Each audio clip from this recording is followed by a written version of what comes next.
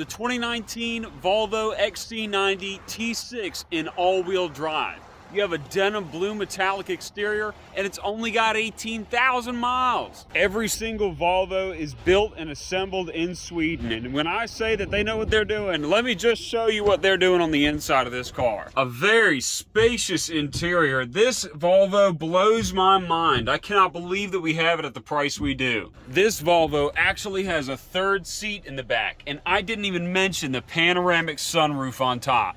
Between the panoramic sunroof and the beige leather in here, it brightens up the interior like no car I've seen before. This Volvo has a 2-liter 4-cylinder engine. It is immaculate on the inside and on the out.